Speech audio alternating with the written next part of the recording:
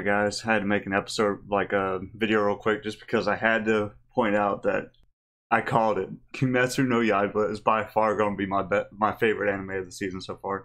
Just got done with episode four, and the fight scene with the demon, the stakes of the fight, and everything was just so perfect. Oh my god, that was so good. The animation was gorgeous. The fight scene was so well done. Oh man, and it just like it did not disappoint at all and it explained so many things and there was so much at stake and it was just freaking awesome.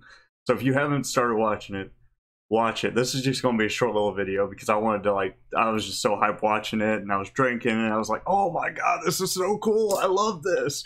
But yeah. Man if you uh, one punch man i wasn't too big of a fan of the last two like the first two episodes but the last one was pretty dope. I actually super enjoyed that one and what else came out this season? Diamond No Ace is I. I'm kind of.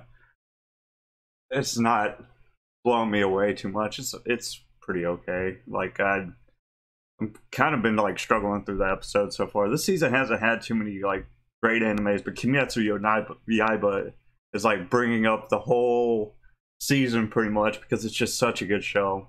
I'm trying not to spoil anything, but I just kind of wanted to make a short video to tell you if you haven't started watching and you like anime, this is the one to check out this season. It's so good. Oh my god, it's so good. But yeah, thanks for watching as always, guys. Bye.